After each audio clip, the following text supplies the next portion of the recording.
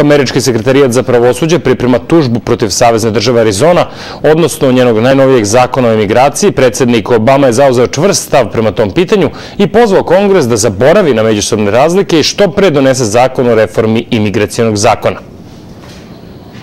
Predsednik Obama je izjavio da se imigracioni sistem u zemlji raspao i da je opasan, kao i da za trajno rešenje problema nije dovoljno samo podići ograde duž granica Sjedinjenih država. Sistem se raspao i svi to znaju. Obama je u školi za međunarodnu politiku Američkog univerziteta danas po prvi put od početka predsjedničkog mandata apelovao na potpunu reformu imigracijonog zakona. Izvor iz Bele kuće navode da je do odluke da se baš sada posveti tom problemu došlo iz nekoliko razloga, među kojima je i nedavno donošenje strogog imigracijonog zakona države Arizone. Američki predsjednik je rekao da je nepreduzimljivost na federalnom nivou dovela do donošenja tog, prema njegovom mišljenju, lošeg zakona. Into this breach.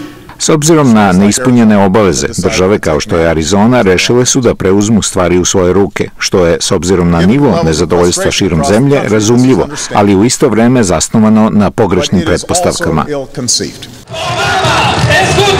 Novi imigracioni zakon naišao je na oštre proteste širom Sjedinjenih država, iako su istraživanja javnog mnjenja pokazala da ga većina Amerikanaca podržava. Barack Obama je danas poručio i da je za rešenje problema imigracije neophodna sveobuhvatna promena. On je takođe pokušao da razuveri pristalice drastičnih mera protiv ilegalnih imigranata, rekavši da lično ne podržava amnestiranje stranaca koji su nezakonito u Sjedinjenim državama. Bez obzira na to koliko su oni čestiti i bez obzira na njihove razloge, 11 miliona ljudi koji su prekršili zakon će za to odgovarati.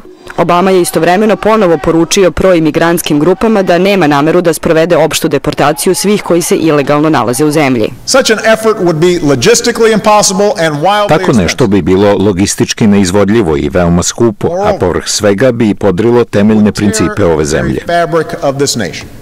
U govoru na Američkom univerzitetu Obama je pozvao zakonodavce da smognu političku snagu i suoče se sa ovim bitnim problemom. Međutim, s obzirom na predstojeće izbore u novembru, malo je verovatno da će se članovi kongresa ove godine pozabaviti kontroverznom imigracijonom reformom koja je duboko podelila američku javnost.